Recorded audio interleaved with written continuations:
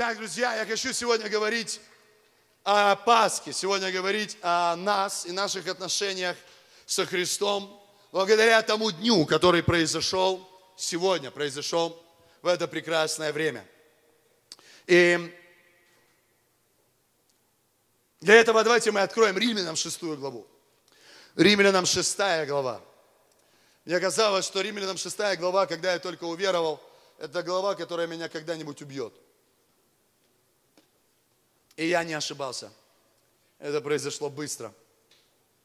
Сейчас объясню, о чем идет речь. Я хочу, чтобы мы смотрели с вами послание к римлянам, шестую главу, и будем читать с вами с 6 по 11 стихи. Римлянам 6, 6 по 11 стихи. Вы готовы? Есть Библия у кого-то? Помашите телефоном. О, мамы мои бумажные. Итак, Римлянам 6, 6, 6, 6 глава, 6 стих. Поехали. Зная, зная, что ветхий наш человек распят с ним, чтобы упразднено было тело греховное, дабы нам уже не быть рабами греху. Вы здесь? Ибо умерший освободился от греха. Если же мы умерли со Христом, кто освободился от греха? Не слышу. Умерший. Ибо если, если, если же мы умерли со Христом, то веруем, что и жить будем с Ним, зная, что Христос, воскреснув из мертвых, уже не умирает. Смерть уже не имеет над Ним власти. Ибо что Он умер, то умер однажды для греха. А что живет, кто живет для Бога. Так и вы почитаете себя мертвыми для греха, живыми же для Бога во Христе Иисусе, Господе нашим. Аминь. Итак, друзья, апостол Павел говорит прекрасную вещь здесь, и в принципе здесь заключается в принципе все христианство. Оно заключается в том, что Однажды Христос умер. Однажды Христос умер. И когда Он умер? Он умер на кресте за всех нас. Аминь. Он был распят на кресте и умер. И почему-то апостол Павел говорит, что он был мертв для греха. Поэтому я хочу сразу, чтобы вы запомнили две вещи. Две вещи, которые произошли там на Голговском кресте. Первое, Первое, что произошло, и, наверное, самое главное.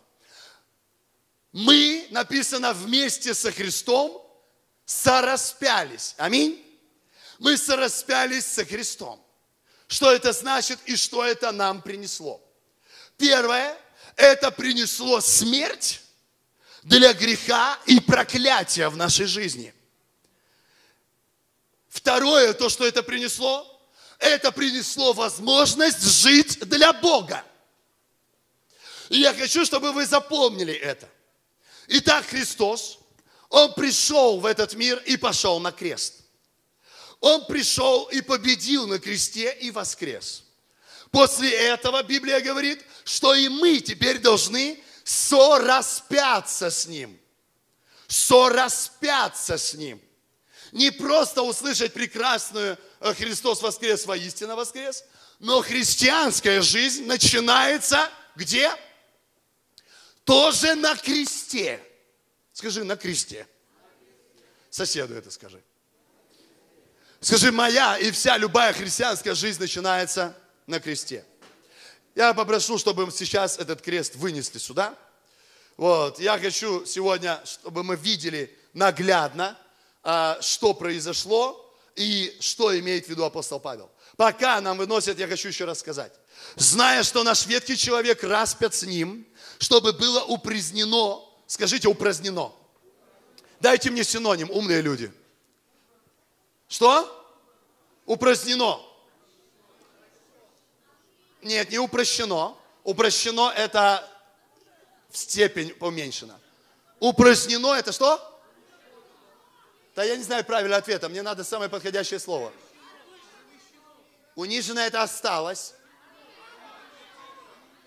ликвидирована, уничтожена, аннулирована, наверное, да? Аннулирована, наверное, тоже подходит.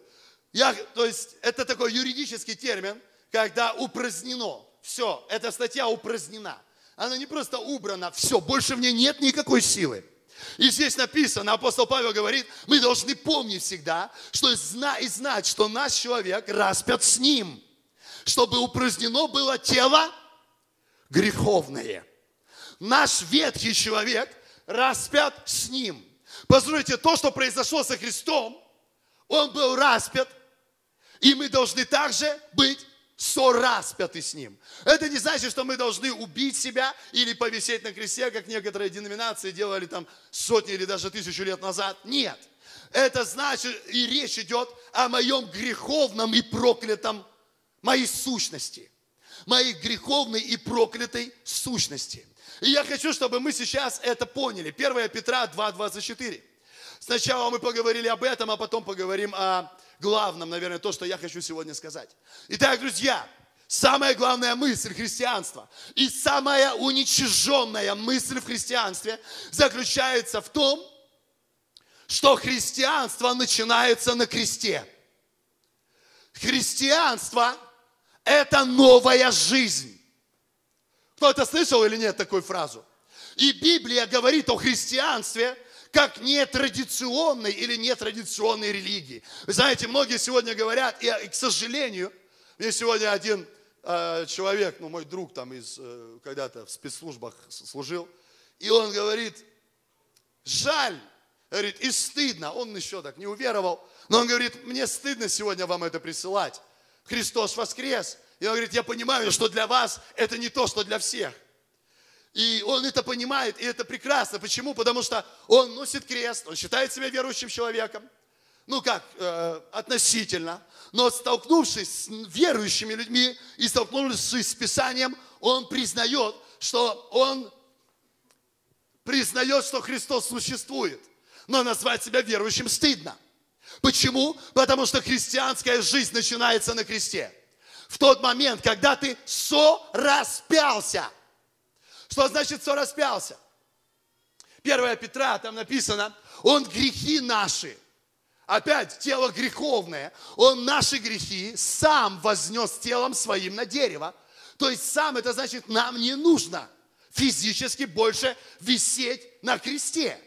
Он сам уже это сделал, и он повисел, и он умер там, и вознес телом своим на дерево, дабы мы, избавившись через крест, избавившись от грехов, что жили? Для правды. И снова я повторяю. Я хочу, чтобы вы все сегодня это услышали. В, христи... в этом смы... в смысле креста и в христианстве, и в том, что сделал Иисус, есть всегда два значения. В этом есть две ноги христианства. Первое, это я верю, что вся моя проклятая греховная сущность умерла на кресте. Второе, это изменяет причину моей жизни. Потому что везде, где говорится, что Иисус умер, всегда сразу, практически в каждом стихе, который вы найдете в Новом Завете, звучит для того, чтобы я жил. То есть происходит изменение мотивации и причины жизни человека. Но то, что вы можете увидеть в своей иногда жизни, к сожалению, или в жизни многих, кто считает себя верующими, вы можете не увидеть ни первого, ни второго. Особенно в протестантской среде мы можем увидеть только первое. Я верю, что Христос забрал мои грехи, но это не производит изменения причины моей жизни. И я не собираюсь жить для Бога. Я хочу жить для бабла. Извините за это выражение, потому что для денег нельзя сказать так, как вы хотите. Я хочу жить для чего-то еще. Я хочу жить, хочу жить. Но я редко слышу, я крайне редко, я почти никогда этого не слышу, чтобы человек сказал, я верующий, и я живу для Бога. Вы слышите или нет? Но в Римлянам Павел говорит, суть в том, что если мы сораспялись, то и Христос распят был, чтобы жить для Бога, так и вы теперь почитайте себя мертвыми для греха, живыми же для Бога. Кто-то здесь еще? Итак, друзья, что первое? Первое, мы должны навсегда запомнить. Потому что отсюда исходят все, в основном, харизматические ереси. В протестантском мире их очень много, но не только в протестантском. И первая ересь заключается в том, что креста недостаточно, чтобы освободиться от проклятия. Люди освобождают друг друга от проклятия везде еще. Вот. Ну, я не знаю, мне кажется, это уже какая-то ахинея какая-то. Теперь послушай, если ты пришел ко Христу, я не спорю, можешь верить, что Христос есть, но если ты не сораспялся с Ним, да, проклятие в твоей жизни еще живет. Что такое проклятие? Проклятие – это проклятая сущность человека, которая при, проявляется в грехе, в его мотивах, в его каком-то внутреннем дискомфорте, в его, я не знаю, оно, оно является горем всего. Например, когда я пришел к Богу в 15 лет, это было, вот скоро я буду праздновать свою 20-ю годовщину, как я пришел ко Христу. Я даже день запомнил, даже время запомнил. Это было 21 мая 97 -го года, примерно в 9 вечера. Да. Вот, и я пришел к Богу. Я понимал на тот момент, что это значит. Я понимал, что происходит. Поэтому, когда я посвятил свою жизнь Христу, Первые несколько месяцев я еще как-то тык-мык, мне было тяжело, я понимал, что я теперь верующий и так далее. Но потом, в течение, наверное, первых трех месяцев ко мне пришло, наверное, возрождение это называется. Почему? Потому что я осознал, и я сказал, Господь, не просто сказал, у меня получилось, я смог, я принял жертву Христа на кресте, и я понял, что Он всем своим телом и всей своей жизнью за меня умер. И теперь я могу также свою греховную плоть и все свои беды и проклятия отдать на этот крест. Кто-то здесь? Вы, хорошо, вы скажете, ну давай, давай, продолжай, потому что я это знаю. Ну, может быть, ты это знаешь, но сейчас объясню. Что в моей жизни? Например, мои родители здесь, они не дадут соврать. Мой дедушка с бабушкой по, маминой, по маминой линии, а, и его мама их прокляла. Правильно, мам? Она их прок, моя прабабушка прокляла мою дедушку и бабушку в день свадьбы. Она была ведьмой. Это было официально и так далее. Вот, она была ведьма, она их прокляла. Просто прокляла. Сказала, ну там, вы, короче, счастья никогда не увидите. Вот, и вы знаете, действительно проклятие сработало, потому что э, мой дедушка спился просто. И э, можно сказать так, что забил мою бабушку до смерти, потому что она умерла в очень молодом возрасте, э, потому что ну, э, он ее просто вколотил, он ее бил, избивал и так далее. Вот, они вместе пили, и бабушка начала иногда выпивать, вот, и так далее. И это проклятие действовало. Например, по моему папе, вот мой папа здесь также не даст соврать, мой дедушка по папе уже, когда папе 11 было лет, да? Он, они развелись с, с бабушкой Зиной. Вот, они, он оставил свою жену и, а, ну, ну не отнял, нельзя сказать отнял, но увез ребенка от матери в другую страну. После этого мой папа, он тяжело раз, пережил эту разлуку. Вот, и в детском уже возрасте пошел алкоголь, наркотики. И, по сути, папа из-за этого позже стал ну, наркоманом. Да, сегодня он освобожден, но проклятие шло. И вы знаете, когда я начинал в свои 11-12 лет, я начал бухать уже, не выпивать, а бухать. Я начал понимать, что в моей жизни что-то происходит. Я начал смотреть за судьбой моих бабушек, дедушек. Я начал смотреть за судьбой моих родителей. Моя мама стала инвалидом в 29 лет, по-моему. И я понимал, блин, везде смерть, везде проклятие, везде наркотики, алкоголь и болезнь, смертельная болезнь. И вы знаете, я понимал, я обречен. Поэтому, когда я пришел ко Христу, в тот май 97 -го года, я не просто сказал, ой, наденьте на меня крест, ничего здесь плохого нет, если ты носишь крестик. Я просто, это плохо, если ты думаешь, что крестик тебя спасет. Вот, но я пришел, и я понял, что я всегда верил, что Бог есть. Но в тот момент мне сказали, ты понимаешь, что все то проклятие, которое шло от дедушек, бабушек, все то горе, все то несчастье, которое возбудило в тебе нужду, теперь спасаться, воровать, или там, ну я не знаю, обманывать людей, или просто жить какой-то проклятой жизнью, ты имеешь власть и право это все отдать. Через сораспятие на кресте. Что это значит? Это принять распятие Христа. Отдай. И вы знаете, что произошло в моей жизни 15 лет? Я отдал на крест всю свою тогда 15-летнюю греховную проклятую натуру. И это изменило мой внутренний мир. Я не знаю, как это объяснить другим людям, но мою жизнь не изменила подарок автомобиля. Или Бог спас мою маму, или освободил папу от наркотиков. Нет. В 15 лет я пережил, я в хорошем смысле опустошился. Я всю жизнь жил мечтой. Я ненавидел в какое-то время своего отца. Я все время понимал, мама скоро умрет. Я сам себя ненавидел за свои уже грехи, потому что я был там умным мальчиком, но потом скатился. Я все, я понимал, я обречен. Я даже наркотики для себя заказал. Это то, на что я никогда не, э, не собирался идти, потому что я видел, во что они превратили моего папу и мою семью. Но послушайте, видимо, в тот день ничего не изменилось. Но внутри всей моей жизни перевернулось все. Вы здесь? Теперь, друзья, почему я так об этом говорю? Потому что есть второй факт. И теперь послушай. То, что я пережил как верующий человек, и это то, что я, надеюсь, пережили здесь многие э, сотни людей, это второй момент. Второй момент, когда я отдал греховную натуру сюда, на крест, вы знаете, это было, я помню этот момент прямо. Я был первые три месяца уверовав, я ходил в церковь, я слушал проповеди и так далее. И я всегда хотел стать предпринимателем. Я верил, что Бог даст мне много денег. Почему? Потому что я голодный все время ходил.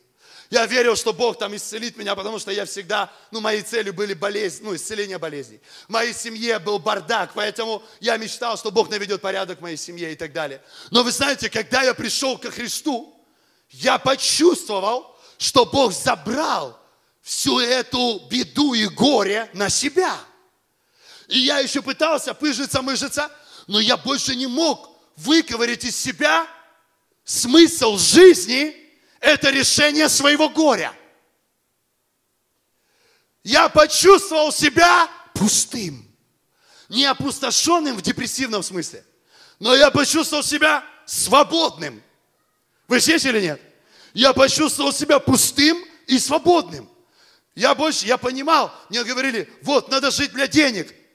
Я, я как-то говорил, да, да, надо жить для денег. А зачем для них жить? Они и так будут. Все, проклятие нищеты Бог забрал. Я это чувствовал. Мне говорили, надо жить для семьи. Я говорил, слушай, семья это здорово, это Божье благословение – но я не хочу жить для семьи просто. Я чувствую, что можно жить как-то выше. Просто посадить дерево, родить ребенка. Я не этот, э, не осьминог. Или кто это? Кто умирает и рождает, и, э, рождает и умирает? Паук, паук, да. Паук рожден, э, рожден, чтобы рожать. Я не паук, слава Богу. Спайдермен. И теперь, друзья, второе, что происходит, Галатам 2, 19. 1 Петра 2, Римлянам 6. Везде написано, что мы сораспялись, и наше проклятие, и наша проклятая сущность, она умерла на кресте. Она там висит. Все, до свидания. И знаете, что происходит? И что должно произойти в жизни верующего человека? Это изменение причины жить. Что я сказал? Это кардинальное изменение причины. Что это значит? Это значит, раньше я жил по причине того, чтобы Бог, ну не Бог, давай, чтобы все было хорошо, чтобы устроить свою судьбу, чтобы устроить свою семью, чтобы заработать, чтобы решить проблемы в своей семье, чтобы маму вылечить, чтобы папу вылечить, чтобы квартиру купить, чтобы детей вы, вы, выучить, ну и так далее. Меня все, эти заботы, которые появились у меня из-за моего внутреннего проклятого мира. Потому что проклятие породило болезнь матери. Потому что проклятие уничтожало папу. Потому что проклятие, ну понимаете ли суть, оно стало, породило причину. Я живу, я живу для, я живу для. И вы знаете, на тот момент я пережил, что, Боже мой, я больше не могу жить для. Для реализации или закрыть, как кредит, знаешь, покрыть, покрыть последствия проклятий. Я не могу жить ради того, на что меня понуждает проклятие. Вы поняли, о чем я? Что там Галатам? Законом я умер для закона. И по 21 стих. Законом я умер для закона, чтобы жить для чего? Для кого? Для Бога. Я что? Не слышу. Сораспялся. Скажи это. Я сораспялся. Поэтому больше не я живу, но живет во мне Христос. А что живу во своей плоти, то живу верою в Сына Божьего, возлюбившего меня и предавшего меня за, за, за, меня, за меня себя. Не, да, дальше, дальше. Не отвергаю благодати Божьей. А если законом оправдания, то Христос напрасно умер. Я не могу больше жить, как будто бы Божья благодать не высвободилась на мою жизнь. Я ее не отвергаю. Почему? Смысл многих верующих не меняется. Смысл жизни и причина жизни многих верующих не меняется, когда они приходят ко Христу. Есть одна причина. Мы не хотим сораспяться. Мы любим свои проблемы. Мы любим свои беды. Мы любим свое горе. Это страшно звучит, но мы даже любим свое проклятие. А кто обо мне позаботится, если не я? Я не говорю бросить и, без, и халатно, безответственно относиться к проблемам, ни в коем случае. Я говорю про то, что если решение проблем, э, финансовые и все остальное наживы, это смысл твоей судьбы, ты проиграл. Ты идешь за Христом пустым, без своего чего? Креста. Итак, друзья, я хочу, чтобы вы поняли. Матфея 11, 28. К чему я теперь? Теперь я хочу объяснить, к чему я. Я верю в измененную судьбу. Я верю в измененную жизнь. Но измененная жизнь – это абсолютно другой мотив и, и смысл жизни. Это, мне нравится все-таки это слово, это другая причина жить. А по какой причине ты живешь? Многие матеря здесь сегодня, вы можете сказать честно, я живу ради своего ребенка. Это плохая причина жить. Вы должны любить своих детей. Но жить ради детей – это поклоняться детям. И знаешь, что я тебя предупреждаю, мамуля? Поэтому Бог никогда не сможет ничего с ним сделать, потому что ты с ним что-то делаешь. Вы знаете, Бог никогда вот вдвоем, ну, не работает, ну как это? Ну, вдвоем вы поняли, о чем я говорю? Ну, ну просто, уже ты делаешь, так делай. Вы поняли, о чем я? Поняли, да? То есть, Боже, сделай что-то. И на, я, ну, Боже, спаси его, и давай его спасать, ну и так далее. Не-не-не-не-не. Если ты говоришь, Боже, спаси его, и что-то с ним делаешь, Бог ждет, пока ты что-то с ним сделаешь. Поэтому многие сейчас говорят, пастор, разве тебе нужды нет в том, что мы тонем? Я говорю, послушай, Бог в курсе. Итак, друзья, я хочу, чтобы вы сейчас поняли. Матфея 11, 28. Помните, что там написано? И дальше, по 30 стих. «Придите ко мне, все труждающиеся и обремененные». Итак, друзья, до того, когда я встретился со Христом и с крестом Христа, я шел к Нему труждающийся и что? и обремененный. Пока я шел и не встретил Христа, Он говорит, придите ко мне, все труждающиеся и обремененные. Аминь. И там написано, и я успокою вас. Труждающийся и обремененный – это человек, которого задолбали проклятия, которого достало, об, достал образ жизни – постоянно затыкать дыры, которые возникают на ровном месте из разных бытовых проблем. Боже, я только начал, уже вроде бы погасил кредит за квартиру. И тут я узнал, что жена заболела. Или наоборот, Боже, я только, вот, я столько мечтала выйти замуж, все, уже только все хорошо, и успокоились, и уже третьего ребенка родила. Оказывается, он гуляет. Оказывается, у него еще есть четыре женщины и так далее. И начинается что? Новый оборот. Все, детей надо здесь, мужика надо поймать где-то, ну, потому что в основном уже так и происходит. Вот, и все, и ты начинаешь, все, поиски мужа, вот, с тремя детьми на шее, и ты, ты побежала, подожди, еще ж надо покормить, вот сюда. И все это, ты начинаешь постоянно жить, это называется труждающийся и обремененный. И вы знаете, это и есть жизнь, когда она не распята. Но он говорит, придите ко мне, я вас успокою. И дальше написано, возьмите иго мое на себя. И научитесь от меня, ибо я кроток и смирен сердцем, и найдете покой душам вашим. Дальше. Ибо иго мое благо, и бремя мое что? Итак, опять, друзья, два столпа христианской жизни. Первое, придите ко мне. Вы слышите меня? Он говорит, придите ко мне. Он готов забрать на нас свое иго. Он готов забрать на крест, забрать твое проклятие, твою сущность, которая живет от нужды. Но обязательно второй шаг. Что? Возьмите иго мое на себя. Теперь послушайте. Правильное состояние, когда ты приходишь ко Христу, ты испытываешь не просто облегчение, ты испытываешь опустошение, потому что теперь проклятие и да, например, если брать эту женщину, у которой муж загулял, э, дети, трое детей на шее и все остальное, нет, они не решатся сразу эти проблемы. Но женщина может почувствовать, Господь, я понимаю, что я заслуживаю сама, наверное, такой жизни. Я понимаю, я всю жизнь мечтала, всю свою христианскую жизнь на самом деле я поклонялась только мужикам. Нет, я никогда ни с кем не спала, но всегда движимой силой во Христе было, что Бог вознаградит меня мужиком. Господь, и когда я получила мужика или женился, я остановился. Я сказал, все, отлично. И я на мужика своего возложила все бремя и труждающиеся. Поэтому, когда я нашла своего Алешку, и я его полюбила, а он меня, я почувствовала в сердце, вот он тот, кто возьмет на себя все мои грехи и проблемы.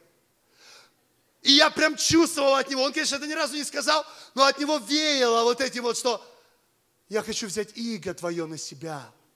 Возложи на меня, приди ко мне, труждающаяся и обремененная. Поэтому, когда я ворвалась в свой брак, я сказала, Алешка, дай 100 тысяч на шубу, дай 200 тысяч на мороженое, дай 800 тысяч на трусики. И я почувствовал, дьявол начал крутить Алешку. Алешка нашел ту, которой трусики можно купить дешевле. Послушайте, друзья, когда ты приходишь ко Христу, возложи на Него свое проклятое ермо. Кто-то услышал меня?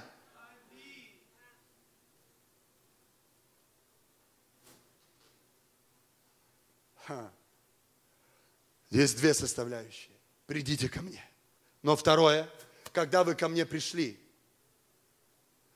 и вы хотите найти покой, есть один секрет. Вы должны изменить мотивацию. Вы освободились, я забрал ваше иго. Да, забрал. Я забрал ваши, ваши кресты, вашу убогость, ваши проклятия. Крест это э, символ проклятия. Да, забрал. Теперь, друзья, смысл, о чем я проповедую. Если ты пришел ко Христу, и сегодня Пасха, и ты вспоминаешь о том, что Он сделал для тебя, теперь я хочу, чтобы мы вернулись к Евангелию. Вы еще здесь? Дайте мне 7-8 минут. И вы меня распнете. Марка, 8 глава, 34 стих. А потом мы посмотрим Матфея, 10 главу, 37. Марка 8, 34. Вы здесь? Скажи соседу, ты благословен у Бога. Ты у Бога благословен. Да, Володь?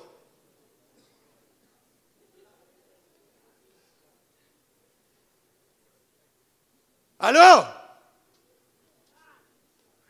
Да.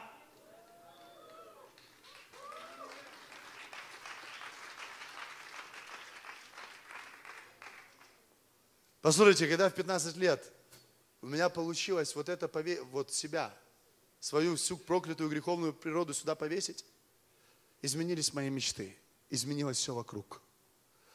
Наверное, мои родители это подтвердят. Я больше не мог жить с мечтами о яхте или еще о чем-то. Вы знаете, я почувствовал себя состоятельным. В дырявых кроссовках, без копья денег, дома выключенный свет за неуплату. Но я почувствовал себя свободным. Я понял, что больше для этого я жить не должен. Я должен работать, я должен нести ответственность, но я больше не должен для этого жить. И Иисус говорит христианам, говорит своей церкви. И что Он говорит? И под, э, Марка какой? 8.34. Смотрите. И подозвав народ с учениками своими, сказал им, кто хочет идти за мною, а кто здесь хочет идти за ним? Алло! Кто-то хочет в портере еще или нет? А на втором балконе? А на третьем? А в Москве кто-то хочет там? Иисус говорит, если кто-то хочет идти за мной, знаете, так приятно, то, что я сейчас проповедую, нас же слышат все вокруг. Это же шатровая крыша. И здесь все слышно. Вплоть до храма Христа. Поэтому мы сегодня с отцом Кириллом вместе проповедуем. Иисус говорит, если кто, ибо кто, э, извините, подозвав, сказав, кто хочет идти за мною, отвергни себя, возьми свой крест и что? И следуй за мною. Теперь внимание иди за мною, или возьми свой крест и иди за мною. Не слышу? Теперь, друзья, господа верующие, дамы и господа верующие, что такое христианская жизнь? Христианская жизнь – это не просто, когда ты пришел ко Христу. Это когда первое, ты приходишь ко Христу и отдаешь Ему свои проклятия и оставляешь их там. Чувствуешь себя облегченным, свободным, освободившимся. Ты понимаешь, а, а для чего мне теперь жить? Это был у меня вопрос. И поэтому Иисус говорит, во, мой. Теперь, родной,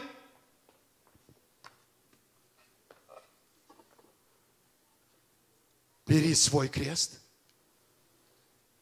и иди за мною и иди за мною. И иди за мною. Вы здесь или нет? Не просто живи со мной, а возьми крест и что? И вместе со крестом иди. Но не бойся, не бойся. Мой крест, мое иго, оно благо. Мое бремя, мой груз, который я тебе дам, оно легко. Вы здесь или нет?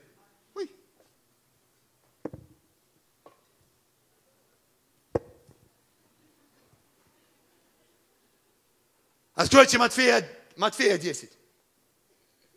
Матфея 10. Вы меня услышали, короче, да?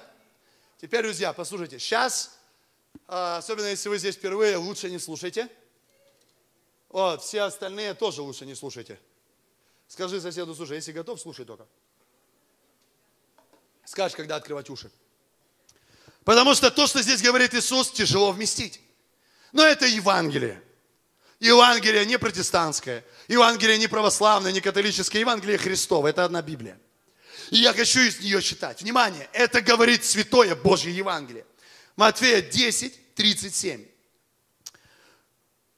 Кто любит отца или маму более, нежели меня, я могу дальше продолжать? недостоин меня. Боже мой. Кто любит сына или дочь больше, чем меня, говорит Иисус, меня с большой буквы, недостоин меня. Я могу дальше читать? Ибо кто не берет, ибо, переведите мне, потому что, по причине, правильно или нет? Кто не любит меня, кто, кто любит родителей или детей больше, чем меня, недостоин меня. И следующий стих говорит, и кто не крестет, о Господи, не несет креста своего и следует за мною, тот недостоин меня. В чем смысл? Сейчас объясню. В чем связка? Сейчас объясню. Кто не несет креста своего и пошел за мной, он не туда пошел. Если ты освободился от греха и проклятия, и дальше хочешь идти за мной, но ты что-то забыл, родной. И если ты это забыл, ты не поменял причину жить, ты недостоин меня. Ты тщетно, ты попусту идешь. Я могу продолжать? И кто не сберет, и кто не берет, а, Господи, это я уже сказал. Теперь внимание. Что значит и почему Христос так радикально говорит? Что значит, кто любит родителей или детей, свою семью, больше, чем меня, недостоин меня? Теперь объясню. Семья, по сути, является самым великим и прекрасным в нашей жизни, чем Бог нас благословил. Если вы с этим, согласны, скажите аминь. Но теперь семья также – это главный источник нужды. Это главная причина, главный символ главных нужд, ради которых я живу. И Иисус говорит, родной мой, если ты любишь больше своих детей или своих родителей, больше, чем меня, это значит, ты любишь меня ради своих родителей или ради своих детей. Ты любишь меня, чтобы я благословил их. То есть, по сути, меня ты не любишь. Другими словами, если кто-то любит свою нужду больше, чем меня, он недостоин меня.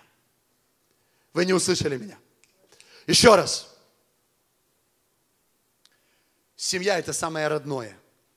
И поэтому все проблемы семьи – это всегда смысл, решения проблем семьи всегда становится смыслом жизни или причиной жить для большинства людей. И Иисус говорит, ты не должен жить для нужд. Ты не должен жить для нужд. Ты не должен жить для тех проклятий, которые породили проблемы в твоей семье. Он не говорит не любить своих детей или своих мужей или своих родителей. Нет, он такого не говорит. Он говорит любить их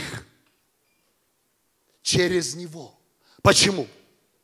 Потому что только если я прихожу к нему, отдаю и вешаю проклятие на крест, я освобождаюсь.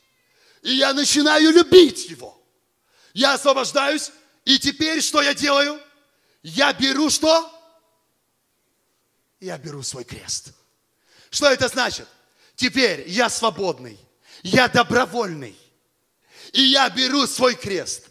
И крест – это то, где Иисус послужил мне. И это символ служения.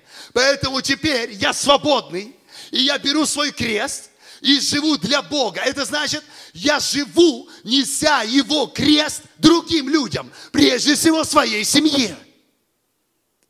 Не поняли? Не поняли? Заново. Стой. Я никогда не соглашусь с тем, чтобы жить ради проблем, которые ежедневно возникают в моей жизни. Я согласен жить только для того, чтобы быть благословением для моей семьи. Я не хочу жить ради нужд. Я хочу жить ради Него и быть подарком для других. Я хочу жить с Христом. А это значит, мне ничего не надо от моей жены. Мне ничего не надо от моих родителей. Мне ничего не надо от других людей. Я хочу дарить им.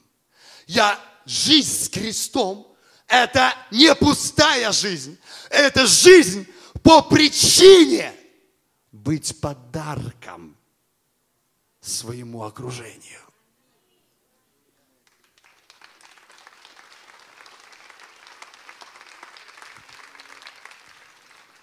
Мой, фальс, мой пасхальный фальстарт называется тема. Фальстарт – это когда Господь освободил тебя. Да. Что, легко чувствуешь? Да. Куда убежал? За Христом. Так Христос не туда побежал. За Христом бегу. Нет. Возьми свой крест и следуй за ним. Никогда не живи движимый нуждою. Никогда не живи движимый проклятием. Всегда живи с главным смыслом. Вы слышите меня или нет? Главный смысл – это жить для Него. А что значит для Него? Взять Его крест и нести его другим людям. Вы меня услышали? Давайте поднимемся. Давайте поднимемся. Если ты любишь свою семью или свои нужды меньше, чем меня, ты любишь меня ради нужд. А значит, ты все еще труждающийся и обремененный. Церковь, я хочу еще раз это прочитать, услышьте меня сейчас. Если ты любишь свои нужды, семейные проблемы или другие нужды больше, чем Его, значит, ты любишь Его ради своей нужды. А если ты любишь Его ради своей нужды, значит ты все еще труждающийся и обремененный. Перед тем, как мы сейчас будем молиться, я хочу, чтобы мы сейчас прочитали Марка 10 главу, 17 стих. Честно, наверное, в Евангелии одно из самых любимых моих мест. Место о богатом юноше, который подкатил к Иисусу и признал его Богом. Вы хотите выйти, да? Марка 10, и я буду читать с 17 стиха. Когда Иисус выходил в путь, подбежал некто и пал перед ним на колени и спросил его, учитель благий. Слово благий употребляется как ну, Элохим, то есть учитель боже, от Бог, Бог, короче, Бог. Что мне делать, чтобы наследовать жизнь вечную? И Иисус сказал ему, а что ты называешь меня благим? Ведь никто не благ, как только сам Бог. Знаешь заповеди? Не прелюбодействуй, не убивай, не кради, не уже свидетельствуй, не обижай, почитай отца и маму. Он же сказал ему в ответ, учитель, нет проблем. Все это я сохранил от своей юности. Честно, я уже давно не живу проклятой жизнью. Благий учитель, да, тот груз, который ты сказал, о котором ты сейчас говоришь, я его давно убрал. Я без проблем живу по ценностям, по принципам. Я так и живу. Я давно верующий. И я живу со Христом. Ну, я уже перевожу. Я живу верующей христианской жизнью. Я не курю, я не выпиваю, я живу по заповедям, все в порядке. Но честно, такое чувство, что христианство состоит из двух ног. Из двух ног.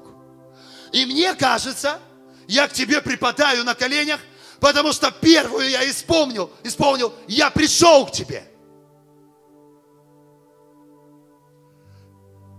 И тут, да-да-да-да, Иисус говорит ему, он же сказал ему ответ 20 стих, ой, 21. Иисус, взглянув на него, ребят, конечно же, полюбил его.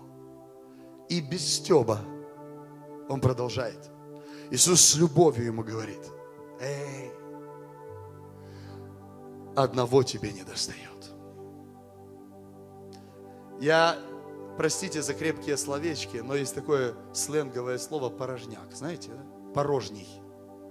Есть пустой, а есть порожний. Порожний это даже если ты корчишь из себя кого-то, ну ты порожний. Иисус посмотрел на него и говорит, я понимаю, что ты ко мне пришел, что ты признал меня Богом, что ты все заповеди исполняешь, людей не обижаешь, не куришь и не пьешь, семья у тебя в порядке. Одного тебе не достает. И тут он бьет его словами, пойди, все, что ты имеешь, Боже мой, если ты уже такой свободный, брат, все, ты готов идти за Христом? Тогда пойди все, что имеешь, продай. Не надо мне ничего давать. Не надо ничего в церковь носить. Пойди раздай нищим, и будешь иметь сокровища на небесах. А потом приходи и следуй за мной, взяв крест. Уже смутившись, ушел от него, потому что у него было большое имение. Есть две ноги на которых строится христианская жизнь. И сегодня, в этот прекрасный светлый день Пасхи, я надеюсь, что все вы понимаете первый шаг. Но я кричу и взываю о втором. Я вас умоляю услышать меня. Если мы сегодня со Христом, а изменилась ли причина нашей жизни?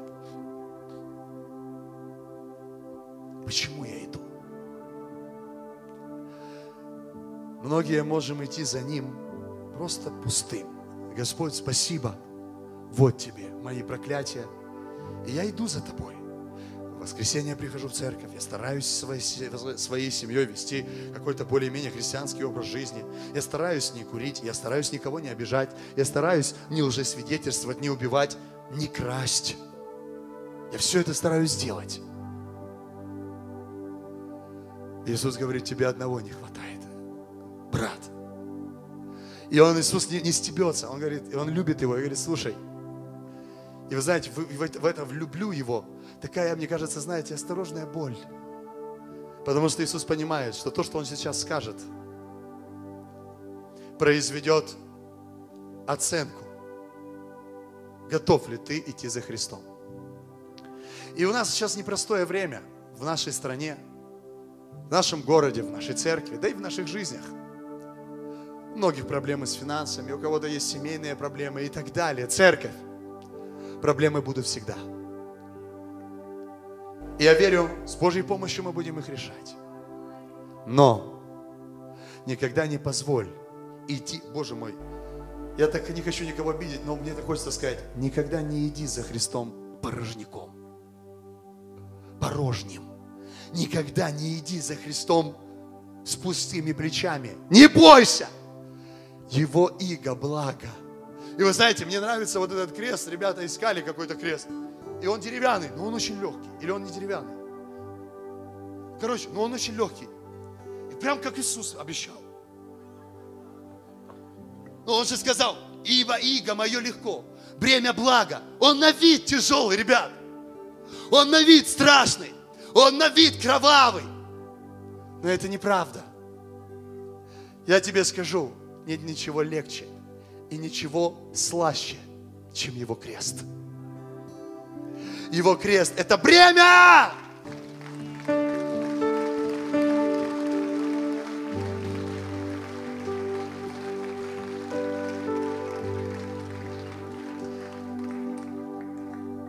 Первое – он хочет забрать все наши проклятия, если ты еще не отдал Ему. Второе. Он хочет, чтобы причина жить изменилась. Кто-то мне говорит, пастор, я устал от служения. Послушай, брось служение, ты устанешь от другого. Ты устанешь от работы. Ты устанешь от семьи. Нет, нельзя так говорить, семья это благо. Ну, это благо.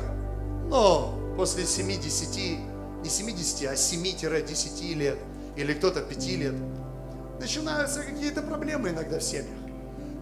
И вы знаете, это нормально, это естественно. Это не значит, что ты разведешься.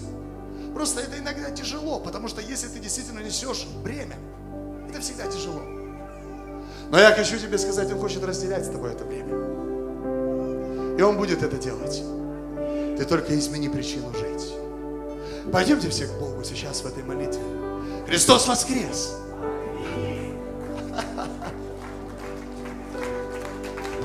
Христос воскрес или нет? Я говорю, Он воскрес.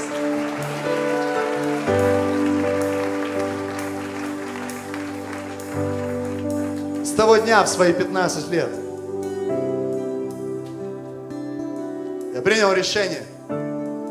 Я почувствовал, что моя жизнь легка. Мою жизнь прибавилось очень много проблем. Проблемы с деньгами тогда не решились. Проблемы со здоровьем решились со временем. Мне предлагали выгнать из меня бесов. Ну, потому что это еще проклятие. Мне просили, чтобы я там еще разрушить во мне какие-то проклятия. Но я никогда на это не соглашался, потому что я чувствовал всегда, что я свободен. А если еще что-то побаливает, Бог это уберет. Четыре хронических диагноза ушло от меня в течение одного года. За меня никто никогда не молился. Они остались на кресте Христовом. Меня больше волнуют твои диагнозы. А почему они меня волнуют? Слово «волнуют» свидетельствует о кресте, который я несу. Я больше переживаю о тебе. Почему? Крест. Крест. Крест. Крест. Позволяет мне, не позволяет, а толкает меня переживать о тебе. И это самое прекрасное, что я могу ощущать. Дорогой Небесный Отец, сегодня во имя Господа Иисуса Христа празднуя Пасху Господню, мы обращаемся к Тебе и всем своим сердцем благодарим Тебя.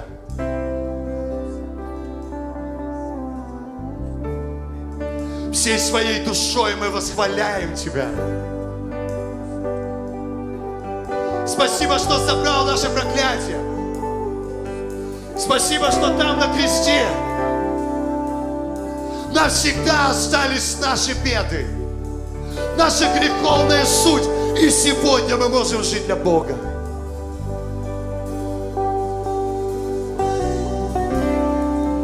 Я благодарю Тебя за мою семью, что она благословенна. И я могу быть для нее благословением, а не стану от нее, как бремени нужды. Потому что мой Бог – смысл и причина моей жизни. Во имя